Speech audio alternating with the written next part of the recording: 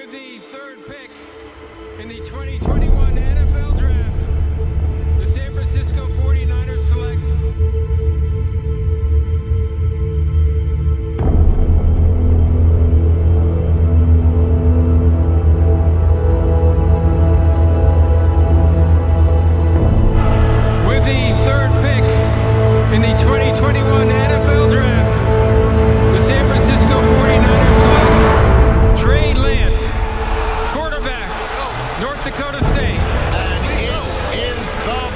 Johnson.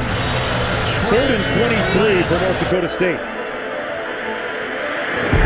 Lance on the move. Trey Lance. Trey again. Touchdown. 44 yards for the score.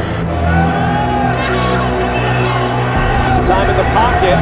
Plenty of time downfield. And there you go.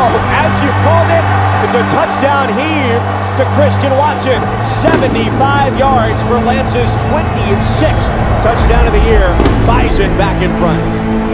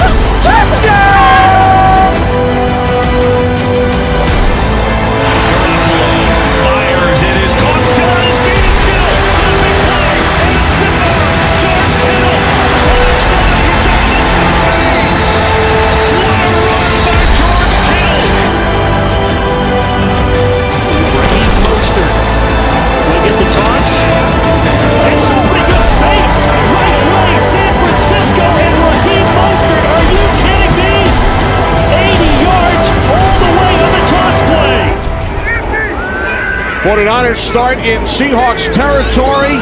And this catch is made.